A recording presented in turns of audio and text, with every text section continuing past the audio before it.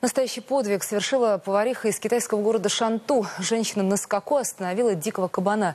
Дерзкая свинья забежала в комнату ожидания для пассажиров автовокзала в самый разгар рабочего дня и попыталась выбраться назад через окно, разбив стекло. Вот тут ее и настигла сотрудница общепита, вооруженная пластиковой табуреткой. Вепрь в ответ пошел в атаку. Однако, получив мощный удар тупым предметом по морде, он попытался скрыться. На этот раз уйти ему помешала стеклянная дверь. Ударившись о нее с разбега, кабан резко поменял траекторию и побежал в соседнюю комнату. Повариха с табуреткой за ним. Ну, что происходило там, камеры не записали, но уже через 10 секунд животное примчалось обратно.